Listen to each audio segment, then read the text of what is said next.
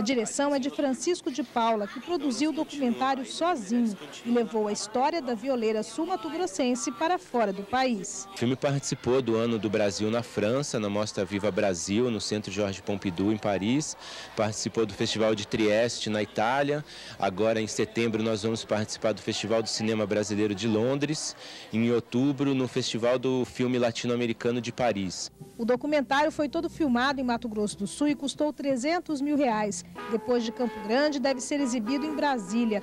Mas antes disso, o diretor quer que os estudantes conheçam a história da Dama da Viola. É importante para eles conhecerem não só a história da Helena Meirelles, mas valorizar o, o Mato Grosso do Sul, valorizar sua cultura, sua raiz, a importância, a própria importância de um filme sobre uma sul-mato-grossense numa rede tão importante como o Cinemark.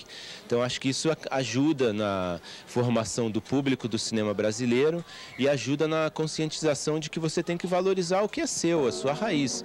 Senão nós vamos ficar a vida inteira vendo filme americano e esquecendo a nossa identidade.